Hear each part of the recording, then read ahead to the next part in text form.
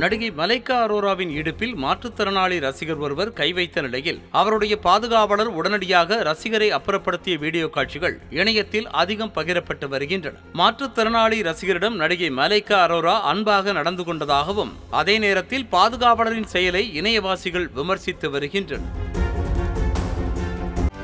செய்திகளை உடனுக்குடனும் துல்லியமாகவும் தெரிந்து கொள்ள சப்ஸ்கிரைப் பண்ணுங்க.